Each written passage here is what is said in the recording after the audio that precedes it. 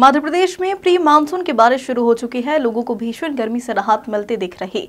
सोमवार को राजधानी भोपाल, इंदौर समेत प्रदेश के कई जिलों में बारिश हुई, जिसके चलते दिन के टेम्परेचर में भी गिरावट दर्ज हुई। मौसम विभाग के मुताबिक मध्य प्रदेश में वेस्टर्न डिस्टरबेंस सहित एक और सिस्टम एक्टिव है, जिसके चलते प्रदेश के कई शहरों में बारिश का सिलसिला शुरू हो गया। वहीं कुछ हिस्सों में अभी भी तेज गर्मी पड़ रही है। मौसम विभाग ने प्रदेश के अधिकांश हिस्सों में आंधी बारिश होने की संभावना भी जताई है। मौसम विभाग ने बताया कि मंगलवार को प्री मानसून की एक्टिविटी स्ट्रांग रहने वाली है।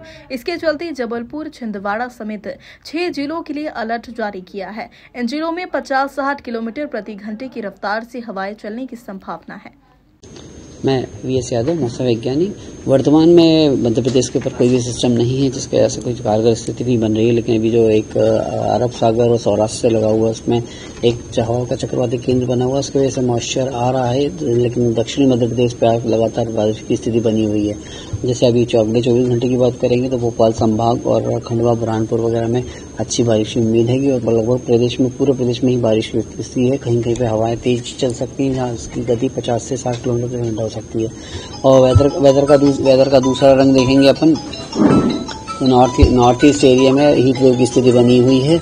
या सतना, चित्रकूट में सबसे अधिक तापमान छियालीस दशमलव पाँच दर्ज किया गया है। निवाड़ी में पैंतालीस दशमलव सात ग्वालियर में पैंतालीस और सतना में चौवालीस दशमलव नौ दर्ज किया गया है। यहाँ पे हीट वेव की स्थिति बनी हुई है। लगभग दो दिन तक ऐसी स्थिति बनी रहने की संभावना है। प्रदेश की बात लोकल राजधानी की बात करें तो राजधानी में अधिकतम तापमान बहुत कम होकर चौंतीस दशमलव दो के आसपास आ गया है। लगभग ये स्थिति ऐसी ही बनी रहने वाली है और छुटपुट बारिश होने की संभावना है। धन्यवाद। भोपाल से उमेश यादव की रिपोर्ट।